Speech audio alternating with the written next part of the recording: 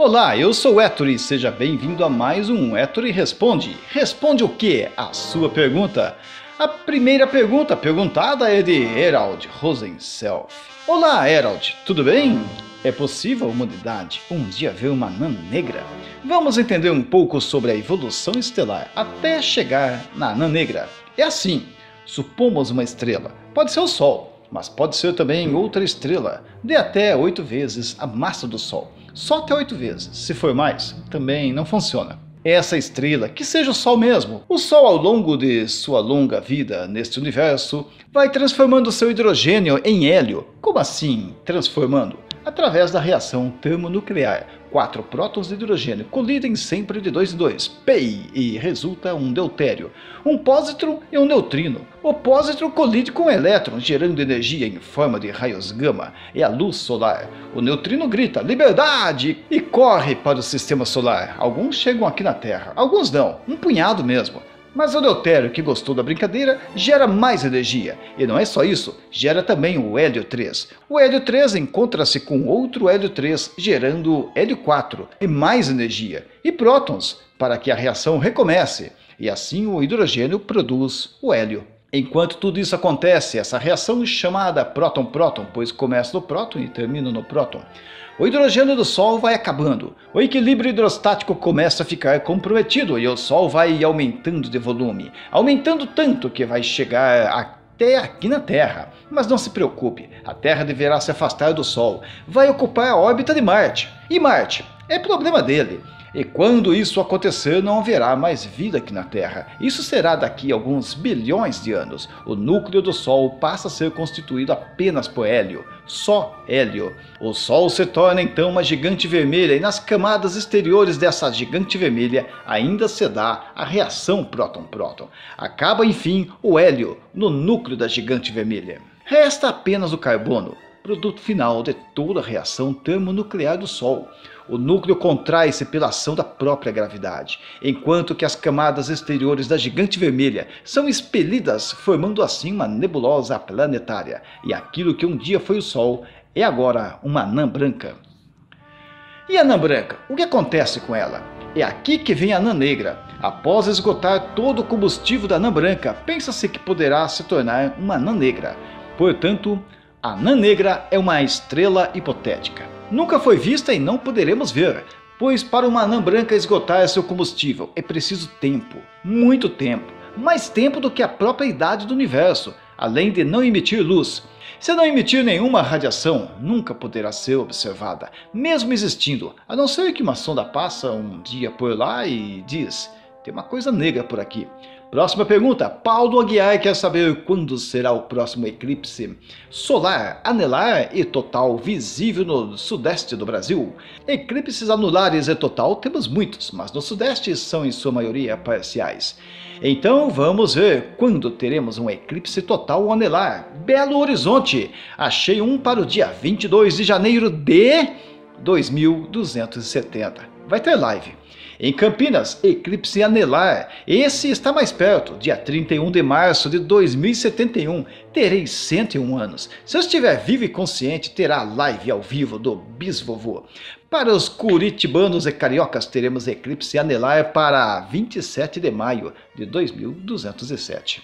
Para quem está em Vitória, Espírito Santo verá seu próximo eclipse anelar em 15 de agosto de 2110. Terá live no canal em todas essas datas. Conto com a presença de todos. Próxima pergunta. Jean Alberto precisa saber qual é a estrela mais fria do universo e se existe estrela gelada. As estrelas mais frias são as do tipo M, que são as estrelas com temperaturas de até 3000 Kelvin. As estrelas mais frias já encontradas são as anãs marrons, estrelas que não emitem luz e só são possíveis ser detectadas através do infravermelho. O telescópio espacial WISE, especializado em comprimentos de ondas da faixa do infravermelho, é o grande descobridor dessas estrelas invisíveis. Chamada de WISE 1828 mais 2650, a estrela anã marrom mais fria já conhecida. Possui uma temperatura calculada abaixo da temperatura do corpo humano, apenas 25 graus Celsius. Nem mesmo pode ser chamada de estrela. Pelo menos, na minha opinião, para mim é apenas um corpo que se parece com estrela. Veja a imagem, o ponto verde é a estrela, verde apenas para destacar a anã marrom, porque ela é marrom, por enquanto. As luzes azuis são uma mistura de estrelas de galáxias. Essa misteriosa anã marrom está localizada na constelação da Lira e, logicamente, não pode ser vista olho nu só através de um telescópio espacial infravermelho. Máfia dos Astros pergunta se estrela pode orbitar planeta. Resposta: não, não pode. Para um objeto orbitar outro objeto é preciso que um objeto orbitado possua muito mais massa do que o objeto que orbita. Estrelas são muito mais massivas do que planetas, então sempre o planeta orbitará a estrela, nunca o contrário. Misa Max pergunta qual é o hemisfério que eu acho mais privilegiado para observar o céu noturno. Difícil responder. No hemisfério sul, temos um sul celeste mais bonito, mas eu tenho vontade de ver a Ursa Menor circundando a estrela Polaris. Falando de Polaris, é muito mais fácil montar um telescópio com montagem equatorial no hemisfério norte, do que aqui no sul, pois ele deve estar alinhado com a Polaris no hemisfério norte. E aqui no hemisfério sul deve estar alinhado com a estrela Sigma Octante, a qual não é visível a olho nu. Caso você tenha um localizador de astros, isso não será nenhum problema para iniciantes. No hemisfério norte vê-se muitas auroras boreais, pois há muito mais terra firme próximo do norte. No hemisfério sul, as auroras aqui chamadas de auroras austrais, que dá na mesma, são mais raras, pois há pouca terra firme próximo do Polo Sul. Em compensação, temos céus mais limpos do que no hemisfério norte. O Reino Unido, por exemplo, fica nublado praticamente todo ano. E, não por acaso, o maior complexo de telescópios ópticos do mundo é o ESO, o Observatório Sul Europeu, que fica, adivinha, no hemisfério sul precisamente no Chile, deserto do Atacama, a 5 mil metros de altitude, onde tem o melhor céu da Terra para se fazer observações.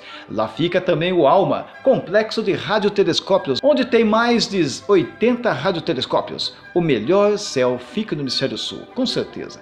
Kakashi Hatake pergunta o que aconteceria se não existisse Júpiter. Cada objeto no sistema tem sua importância, sem dúvida. Ou é de proteger ou é para destruir. Júpiter, devido à sua massa, agregou para si um grande harem de satélites naturais. Foi assim. Passava um asteroide por perto e ele já atraía para si. Júpiter nos protege, mas também pode oferecer perigo. Nos protege desviando cometas e asteroides, mudando suas órbitas ou atraindo para sua poderosa gravidade, destruindo o objeto completamente. Ele fez isso com o cometa Shoemaker-Levy 9, em julho de 1994, quando os fragmentos do cometa foram atraídos para a atmosfera de Júpiter em um excepcional evento celestial. Júpiter também expulsa alguns asteroides do cinturão de asteroides. De vez em quando, que, mudando suas órbitas, podem se tornar potencialmente perigosas. Enfim, o sistema solar não está formado. Sua formação ainda continua, enquanto houver colisões. É por isso que não está pronto. Talvez nunca fique. O que podemos dizer é que cada tempo que passa, menos perigo temos, pois com tantas colisões, elas vão ficando mais escassas. Júpiter é também muito importante para a aceleração das sondas espaciais, como as Voyagers e as Pioneers e a Cassini. Júpiter é importante para nós, pois se estamos sobrevivendo é porque ele está fazendo um bom trabalho. É melhor deixar ele lá mesmo. FFXD Astroplay pergunta: Héctor, existe um limite de visão que a gente possa olhar da Via Láctea? Então por que a gente enxerga a Via Láctea? Que o limite não chega à Via Láctea. E na galáxia Andrômeda também. Como a gente enxerga? Confesso que não entendi direito o que você quis perguntar, mas parece que a dúvida é esta. Se um objeto estiver muito longe de nós, enxergamos pouco dele. E se estiver ainda mais longe, talvez nem seja visível. Só podemos ver alguma coisa se essa coisa puder emitir luz ou refletir luz. Se não, não podemos ver. Vemos cometas quando eles se aproximam do Sol, pois estão refletindo a luz do Sol. Mas quando esses cometas estão muito longe do Sol, não podemos vê-los.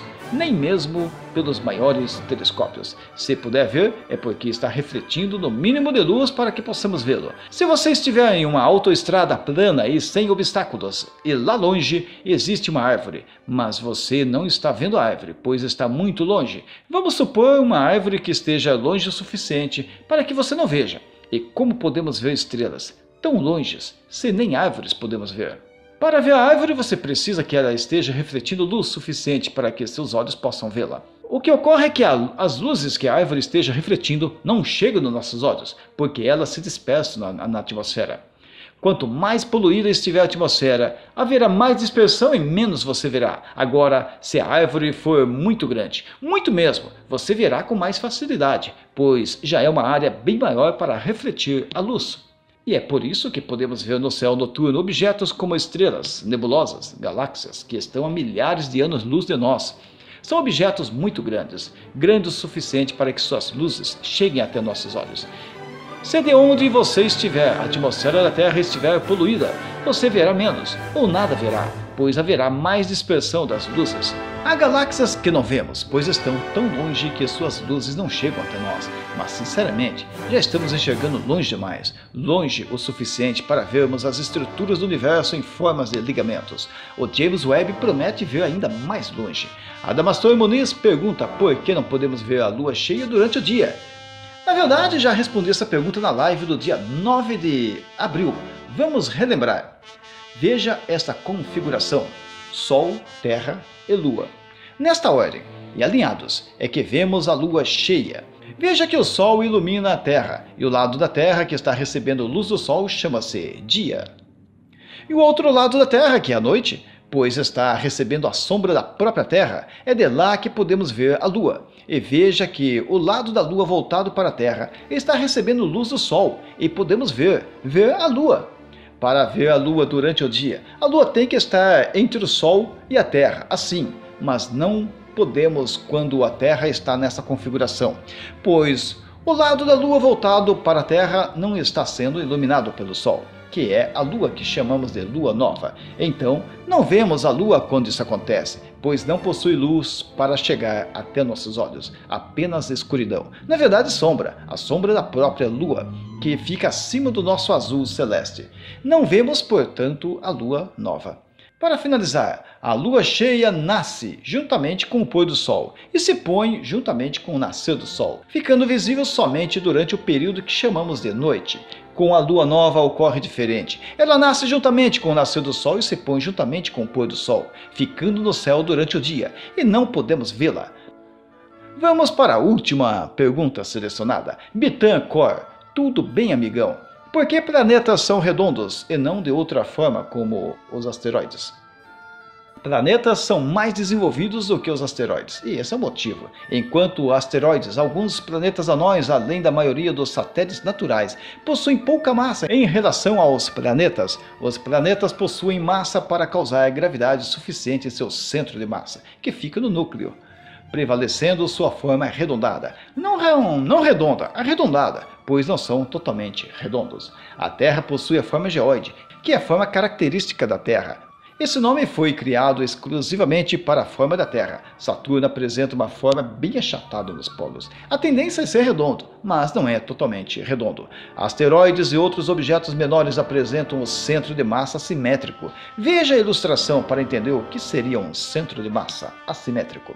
O centro de massa fica deslocado do centro geométrico. Assim, ao adquirir material do espaço, o asteroide não vai ficando arredondado, porém Conforme vai ganhando massa, a força da gravidade vai redirecionando o centro de massa para o seu centro geométrico, fazendo com que o asteroide vai se remodelando até se tornar um protoplaneta, planetoide, planeta não e finalmente planeta.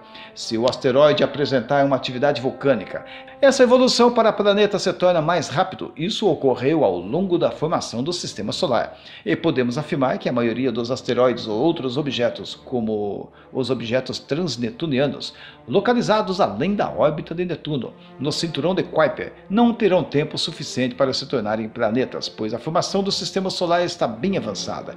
Quem aproveitou no início conseguiu. Quem esperou para depois ficou chupando o dedo.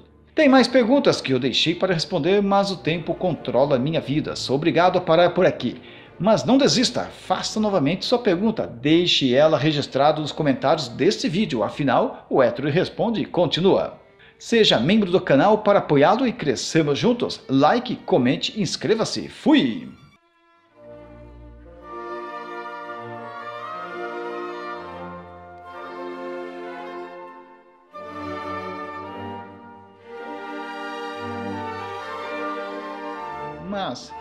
Pequena que também não seria perceptível.